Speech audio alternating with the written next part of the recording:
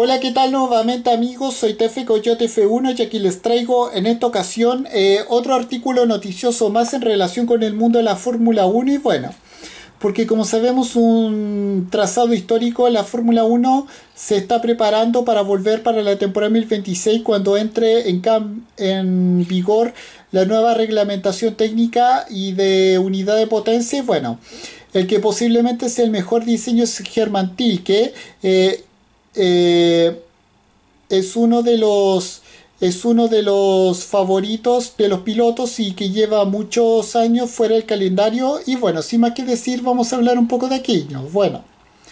como sabemos la, la Fórmula 1 está de dulce, nuevos conjuntos quieren entrar y los diferentes circuitos se pelean por estar por tener un, un espacio en un calendario que a pesar de su extensión no logra dar cobijo a tantas competencias. Bueno, lo que hace no tanto parecía un negocio, negocio, quiero decir, ruinoso e insostenible por el alto precio del canon. Ahora está, ahora está haciendo este eh, mucho más alto y parece asequible. Bueno, y es que la máxima categoría del, del, automovilismo internacional cuelga el cartel de que no hay entradas allá por donde va con muy poca, pocas excepciones y, ha sabido maximizar la rentabilidad de los paquetes VIP, así como de todo el negocio alrededor de una competencia Fórmula 1 y bueno, son numerosos los trazados nuevos que fueron entrando en el Gran Circo, aparte de otros que lo irán haciendo en los años siguientes. Y bueno, desafortunadamente por el camino se, se fueron perdiendo algunos eh, circuitos con alguna ausencia más dolorosa que otra. Y bueno, uno de estos casos es el Gran Premio de Malasia, precisamente el circuito Sepang, cuya última versión fue en la temporada 2017 saliendo del calendario al ser el promotor incapaz de eh, rentabilizar el, el,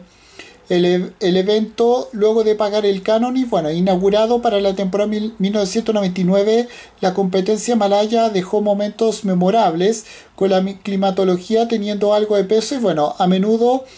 era señalado como uno de los eh, favoritos por los pilotos gracias a su variada combinación de curvas eh, e imperceptibles cambios de actitud para la cámara,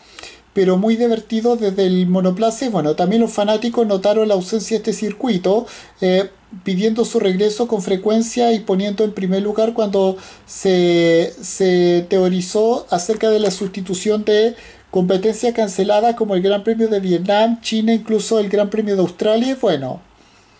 eh, ahora la prensa local cita a fuentes del circuito internacional de CEPAM para afirmar que la Fórmula 1 va a regresar al circuito en la,